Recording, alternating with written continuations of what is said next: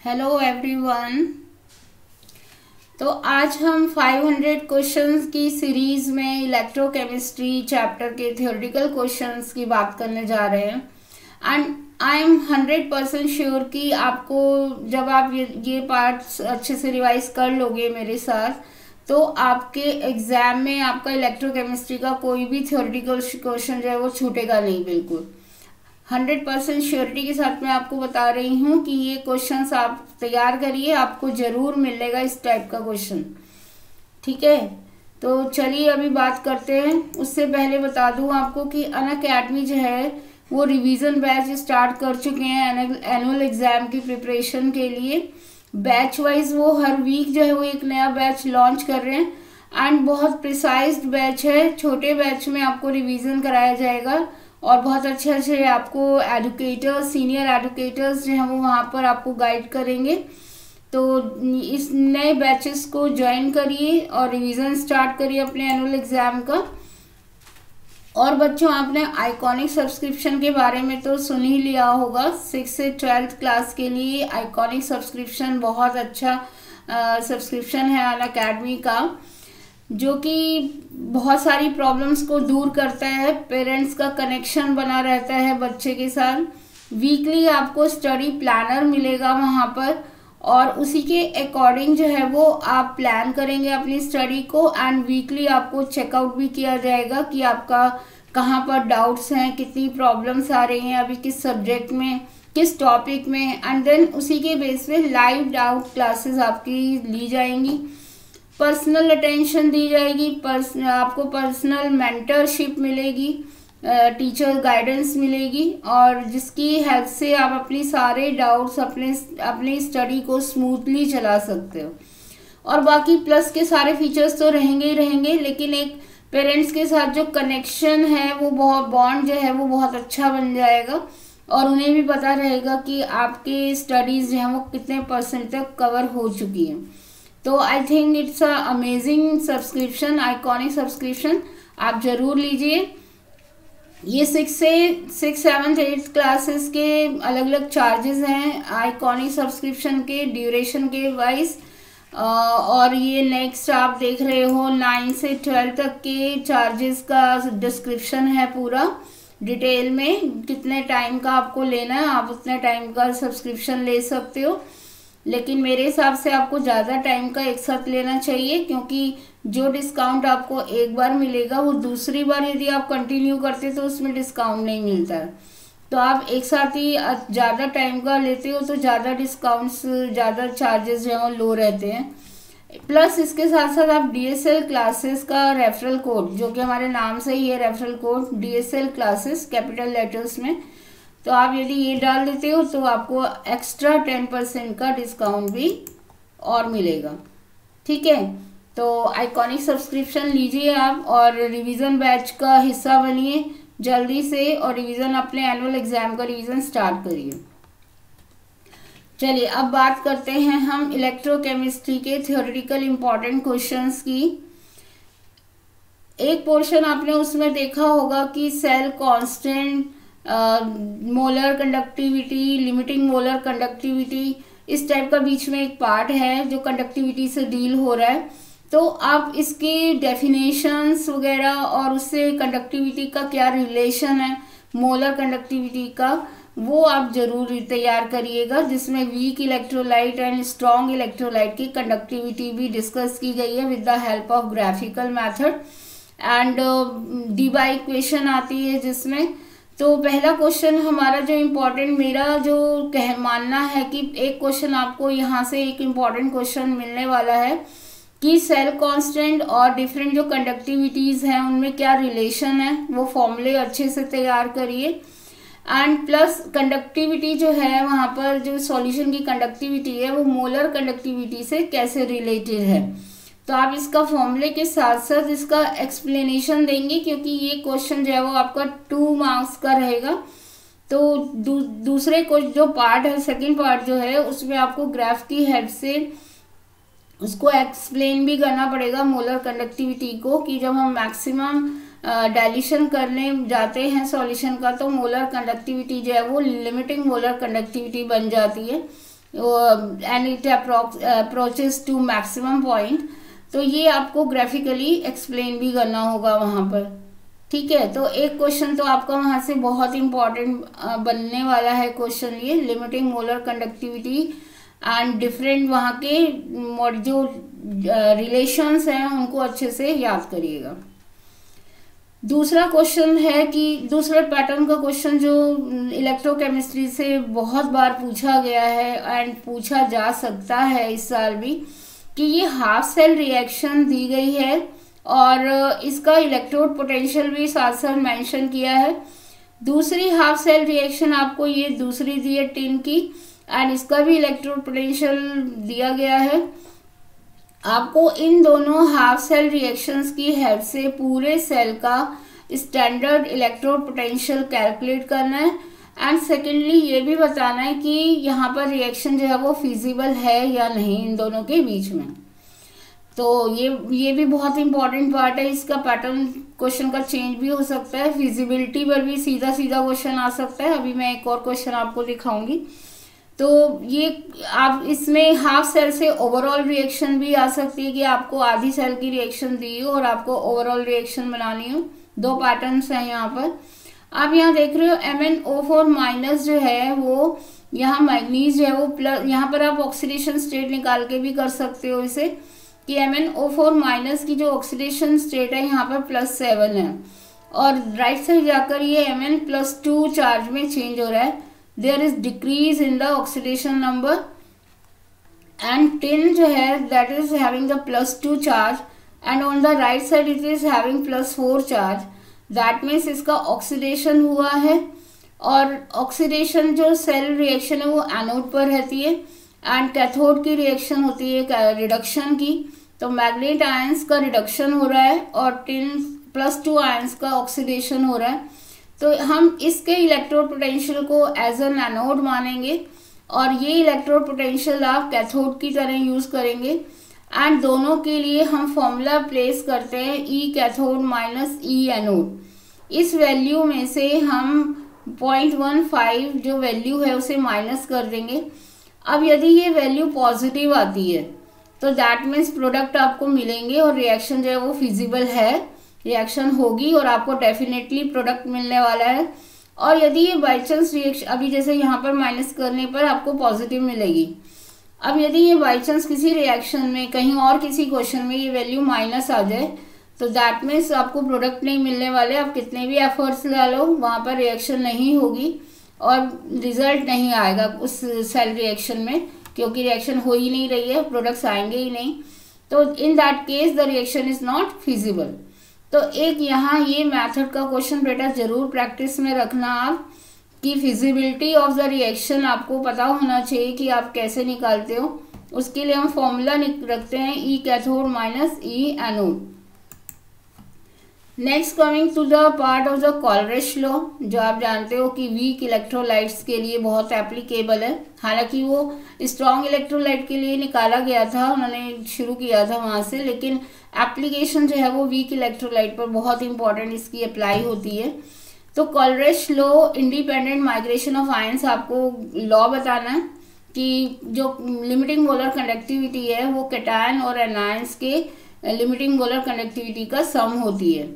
And why does the conductivity of solution decreases with dilution जब भी हम dilution करते हैं तो conductivity I am not saying the molar conductivity मैं कह रही सिंपल कंडक्टिविटी जो है, वो एक सेल की डिक्रीज क्यों हो जाती है जब हम डायल्यूशन करते हैं। डायल्यूशन का मतलब ज़्यादा सॉल्वेंट डालना वाटर ज़्यादा डाल के हमने उसके नंबर ऑफ़ आयंस को पर यूनिट वॉल्यूम में कम कर दिया। हमने कंसनट्रेशन ज़्यादा बढ़ानी है तो बढ़ाते हैं तो it means number of ions बढ़ रहे हैं पर लीटर बट इन केस जब हम वॉल्यूम ऑफ़ सॉल्वेंट बढ़ाते हैं तो हैविंग द सेम सॉल्यूट तो नंबर ऑफ़ आयंस जो है वो पर लीटर जो है वो धीरे धीरे कम होते चले जाते हैं। एंड जब नंबर ऑफ़ आयंस कम होंगे, जो कि रेस्पॉन्सिबल हैं कंडक्टिविटी के लिए तो कंडक्टिविटी भी क्या हो जाएगी? सेल की डिक्रीज हो जाएगी। तो दिस इज़ द रीजन कि why dilution decreases the conductivity of solution but not in case of molar conductivity next question हमारा मोलर कंडक्टिविटी से ही जुड़ा हुआ है कि कंडक्टिविटी डिफाइन करिए एंड मोलर कंडक्टिविटी क्या होती है एक इलेक्ट्रोलाइट की सॉल्यूशन में। तो सिंपल कंडक्टिविटी में तो आप कुछ भी कंसंट्रेशन ले रहे हो, कितना भी एरिया ऑफ़ क्रॉस सेक्शन है सेल का लेंथ कितनी है, वो माइंड हम नहीं ध्यान रखेंगे स्टैंडर्डाइज नहीं करेंगे।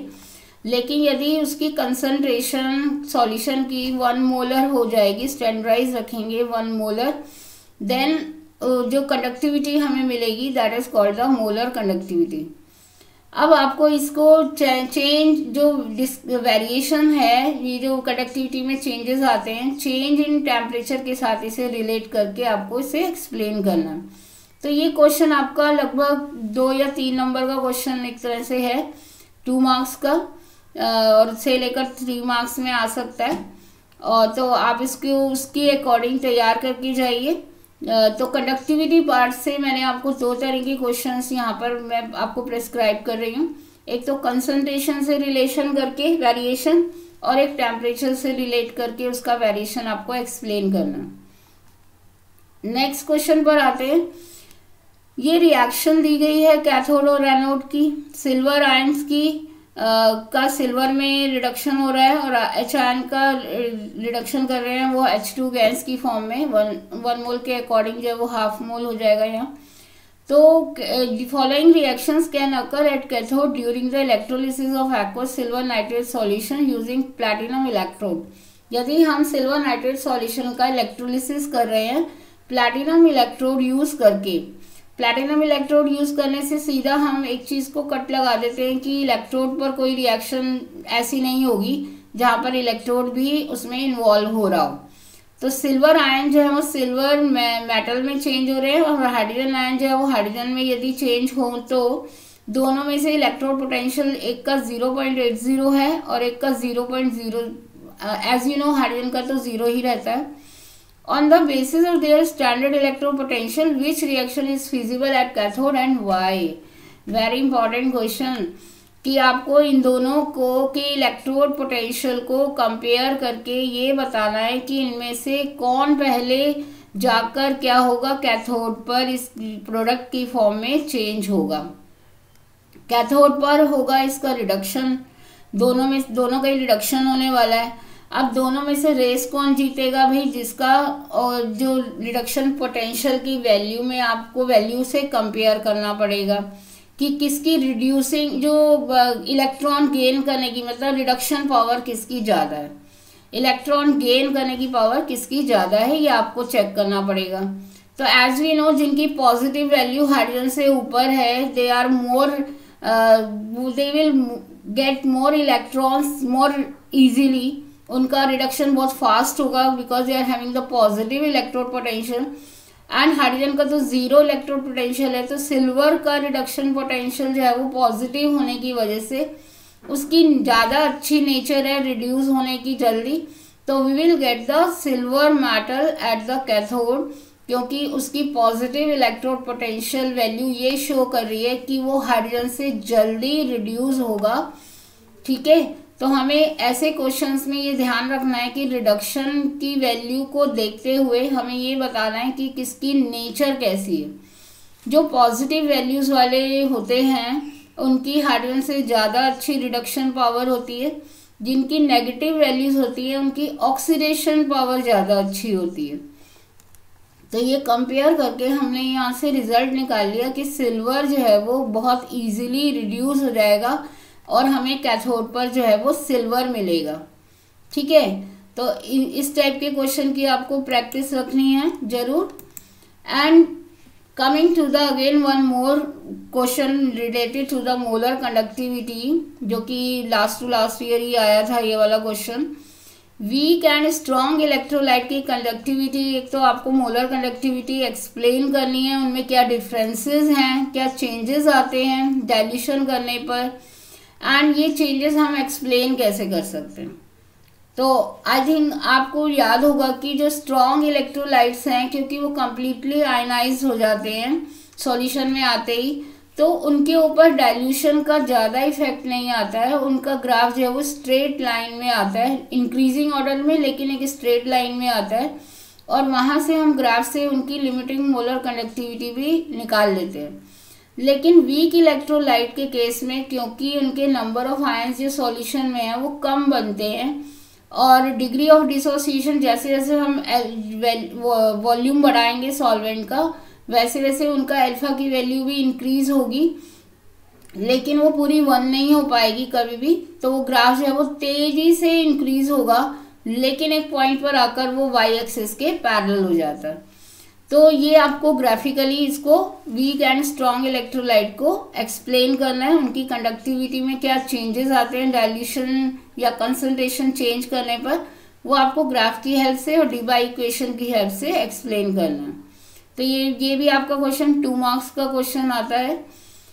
नेक्स्ट आप सीधा सीधा टर्म्स ज़रूर याद रखिएगा डिफाइन करने के लिए, क्योंकि वहाँ से formulae and define the terms भी ज़रूर मिलती हैं। लिमिटिंग जैसे मोलर कंडक्टिविटी है, वो क्या होती है?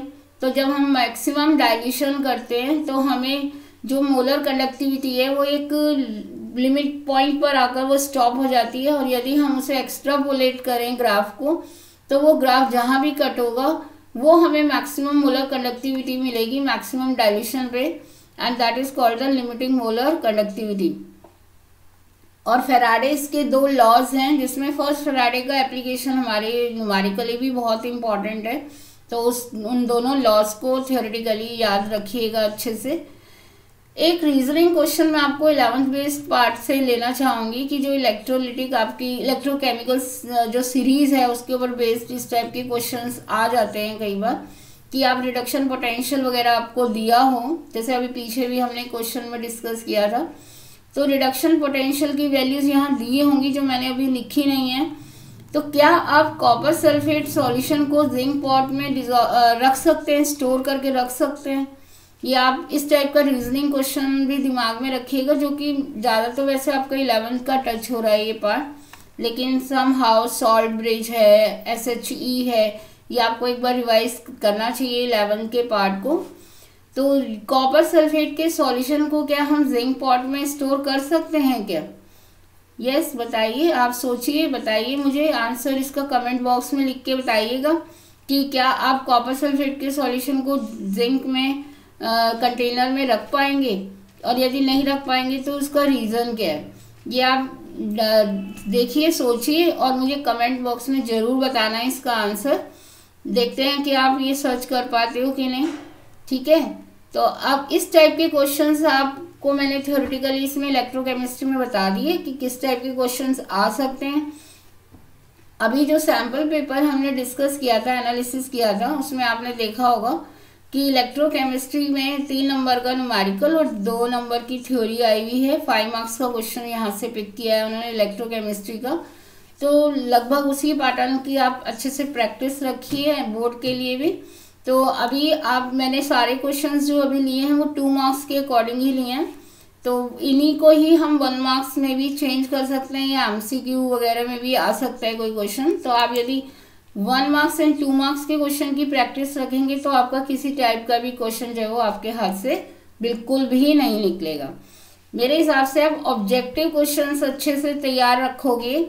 लॉज वगैरह भी ऑब्जेक्टिव पार्ट में वन मार्क्स में आ जाते हैं। तो आप यदि वन मार्क क्वेश्चन की तैयारी अच्छे करते हो तो आपका कोई भी क्वेश्चन चाहे वो टू में जा रहा हो, चाहे थ्री में जा रहा हो, वो आपके हाथ से कभी भी नहीं निकलेगा केमिस्ट्री में। I am hundred percent sure about that ठीक है? तो फिर अब हम नेक्स्ट वीडियो में बात करेंगे, आगे चलेंगे केमिकल कानेटिक्स पर। टिल देन आप इलेक्ट्रोकेमिस्ट्री को अच्छे से प्रिपेयर करिए। और जब कोई भी प्रॉब्लम है आपको थियोरेटिकली या न्यूमेरिकली तो आप बता सकते हैं टेलीग्राम ग्रुप ज्वाइन करिए डीएसएल क्लासेस का एंड इंस्टाग्राम पर हमें फॉलो करिए। वहाँ से आपको प्रॉपर गाइडेंस मिलती रहेगी और आपको बताते रहेंगे हम टाइम टू टाइम हमारा क्या स्केड्यूल है। वैसे नेक्स्ट स्केड्यूल में हम केमिकल काइनेटिक्स के कुछ इंपॉर्टेंट क्वेश्चंस को इंपॉर्टेंट सेक्शन को डिस्कस करने जा रहे हैं। तो मिलते हैं नेक्स्ट वीडियो में। टिल देन बाय और ध्यान रखिए अपना अच्छे से, अपने पेरेंट्स का, अपने फैमिली का। अच्छे से ध्यान रखिए और अपना ध्यान रखिए। और अच्छे से तैयारी करिए बोर्ड क्लास की बोर्ड प्रिपेयर पेपर की। आने ही वाले हैं प्री बोर्ड्स भी आने वाले हैं। टाइम बहुत शॉर्ट रह गया है। तो जल्दी जल्दी मिलेंगे। Till then bye